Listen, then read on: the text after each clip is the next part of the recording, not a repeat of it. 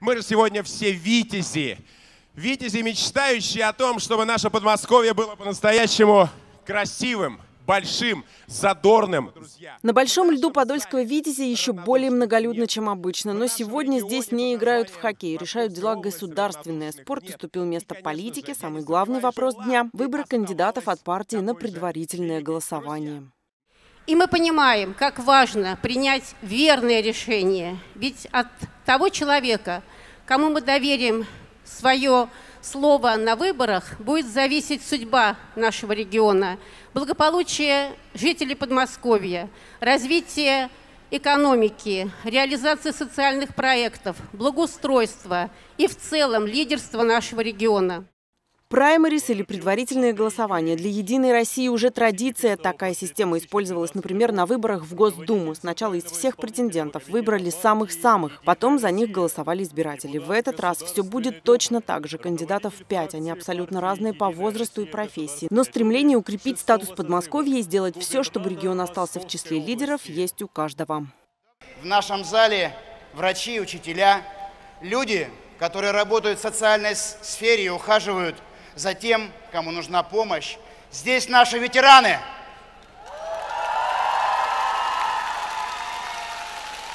Здесь очень много людей, которым не безразлично, что происходит в наших маленьких и больших городах Подмосковья.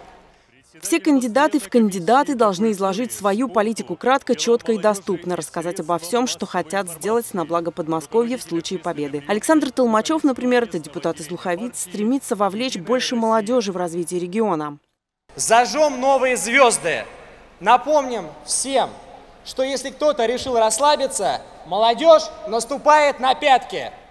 Сопредседатель регионального штаба Общенародного фронта Александр Лысенко ставку сделает на усиление социального блока. Без социальной стабильности, без прочной социальной инфраструктуры, без здоровых и работоспособных людей не может быть устойчивого развития нашего региона.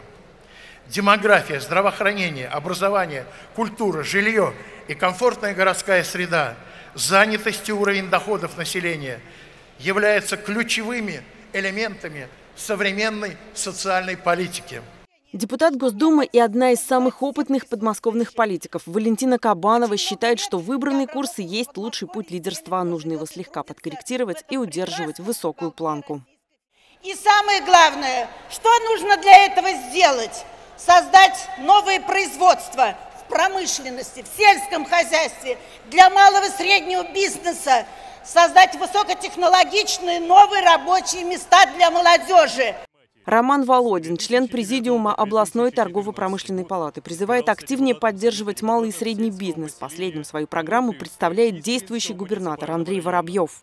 Лидерство – это значит быть лучшим в здравоохранении, в образовании, иметь лучшие дороги, подъезд или дворы – Конечно, всегда есть чему стремиться в этой жизни. Наша дальнейшая задача – сделать Подмосковье по-настоящему сильным.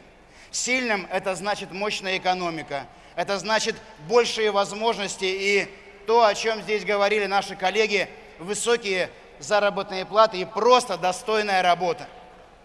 Наша задача – сделать Подмосковье здоровым. Это то, что хочет каждый из нас – ту цель, которую поставил наш президент. Все, что начали делать, продолжат. Обещания выполнят. В этом уверены члены партии. Те, кто со своим выбором кандидата на предварительное голосование уже определился. Сказал – сделал. Сказал – сделал. Вот такие руководители нам нужны, которые говорят и делают, и не болтают языками. Я очень счастлив, что я сегодня здесь рядом с вами. Для меня это огромная честь. Андрей Юрьевич? Андрей Юрьевич живет интересами региона. Не понаслышке. Я вижу его все время с людьми, с молодежью, с э, ветеранами. Встречи в парках, на улицах, во дворах – это непростая задача, поверьте мне, выходить к людям и нести перед ними ответственность. Но он всегда принимал с честью любой вызов. Мы сегодня приехали именно поддержать губернатора действующего и надеемся, что э, дальше область доверит ему э, на выборах, и он станет губернатором Московской области от партии «Единая Россия». Сделано много, он уже сказал сегодня об этом, надо сделать еще больше. Решить, за кого отдать голос на предварительном голосовании, подмосковные единороссы должны в течение 10 дней, дата X 9 июня. В этот день в здании Мособлдумы состоятся праймерис. По итогам этого голосования партия выдвинет своего кандидата на пост нового губернатора Подмосковья. Ксения Казакова, Алексей Золотарев для РТВ.